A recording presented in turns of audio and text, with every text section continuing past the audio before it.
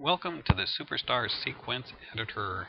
In this video we will demonstrate the advanced features of SuperText. Uh, we'll start by clicking on the ABC button and launching the text dialog box. Uh, we'll change the text to the word Mary and change to a bold, larger font. And we'll just click Add to get the default text action here and we see Mary going from top to bottom across the ribbons.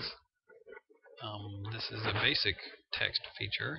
We're going to cover the advanced text uh, negative mask feature today. Uh, so let's try clicking on negative mask, modify, and we will see that the white bar up here became a thinner white bar with little brackets on each end.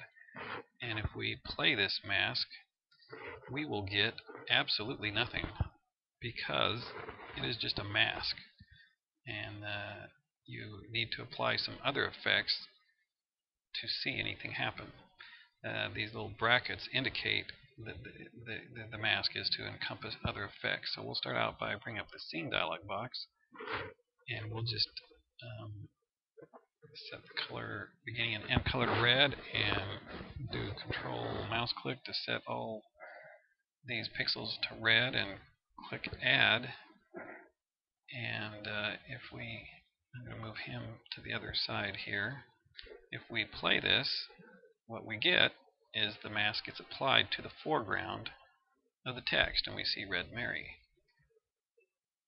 Now uh, if we move this effect to the other side of the mask that's the background side.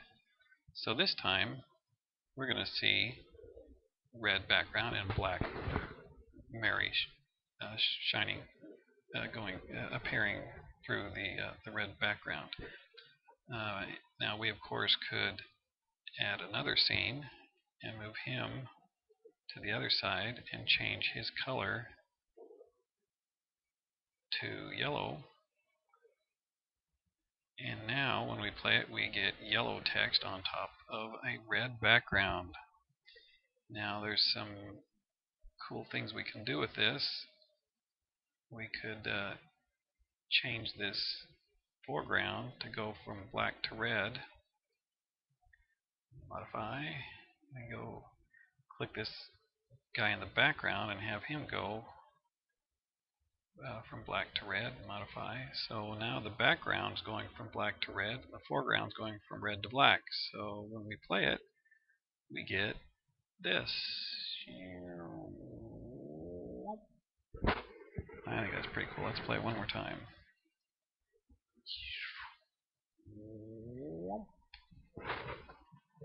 Now, uh, if we wanted to, we of course could. Uh, you don't have to have this go the entire length. You can uh, have this be two short scenes. We modify there. We modify that guy. And then we could select both of these, copy, paste, and now when we play them, we get error, error. So this is a good chance to show the uh, group modify feature, if we select both of these and change um, the color to green, we say click group modify, click OK, and now you can see that the end color of both these guys turned green. So when we play this, we get red on top of green. Now that's pretty cool, but we can uh, do it with other effects also. So let's um, let's delete all these scenes and bring up the morph dialog box. If we just add the default morph here and fix his time here, um,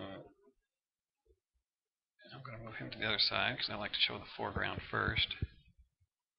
This, of course, is going to wipe across the foreground of the text. Um, we could add another one and move him to the other side. But we could change his direction to go from top to bottom. Modify. And when we play this, what do we get? We get the background uh, going upward and the foreground going downward. Let's see that again. So again, we could uh,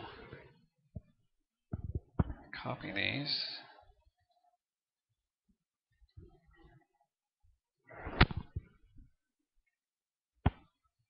Paste. I gotta gotta shorten these guys. We can use the little little feature here that shortens them by a, a notch there and then now we can copy them and paste. Now if we play them we of course just get two sets of these. Now if we want to we can use group modify to make the background go the other direction. I'm going to go from left to right this time.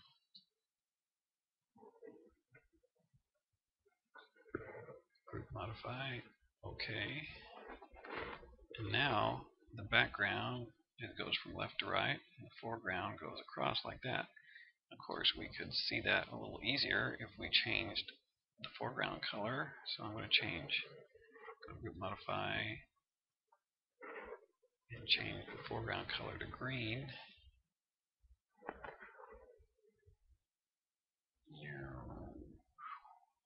So you can see with with all these features, you can do some incredibly cool effects in a very short period of time. Um, and uh, you can do a, a, variety of things. I've got a, a, file saved here that is called Text Mask Fun. Um, this file is in the uh, demo version that you can download. You just go, let's see, he does that green thing, then wow, wow, Wow, wow, he just goes crazy. Now there's another, uh, let's, let's try that again. There we go. Now there's another file um, that demonstrates that you can do uh, regular text uh, behind a mask text. Um, what we have here is a text mask right here of Mary this is a morph going from top to bottom on the foreground, and this is some regular text that's going to go from uh, upper left to lower right. So if we play this, what we get is Merry Christmas. Now is that cool or what? I'm going to try it again. Merry Christmas. And that concludes our uh, little tutorial for today. And uh, I thank you for your time and have a super day.